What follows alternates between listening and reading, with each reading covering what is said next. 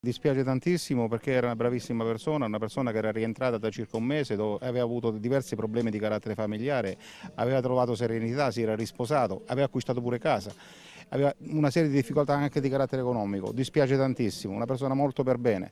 E, devo dire che purtroppo è stato diciamo, un, un, evento del tutto accidentale, è arrivato un temporale al, all'improvviso, dopo 5-6 minuti di, di, acqua, loro anziché forse mettersi a riparo, andare via, si sono riparati al di sotto di quella che è la struttura che, fa, che gli consente di fare la vedetta.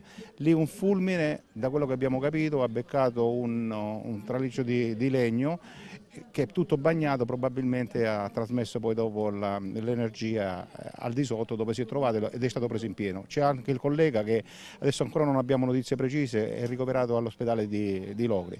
L'azienda è vicinissima, ci faremo carico di tutte le spese per il, il funerale, vedremo come poter aiutare la, la, famiglia come poter eh, ricordare questo povero, questo povero ragazzo. E dispiace tantissimo, dispiace. Sono andato sul posto, a vederlo in quelle condizioni, sinceramente parlando, adesso vedremo un attimo il, il magistrato come sarà, domani informeremo anche l'INAIL per tutte le spese di carattere diciamo, eh, amministrativo.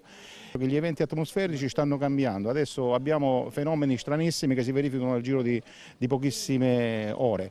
E oggi in quella zona per esempio c'erano incendi, mentre si lavorava agli incendi all'improvviso da altre zone bisogna comunque eh, provvedere a, a a stare attenti all'acqua che, che, scende giù. La stessa cosa che lo scorso anno è avvenuta su Arraganello. Da una parte c'era la tragedia, eh? dall'altra parte invece avevamo incendi a distanza di 10 km grossissimi.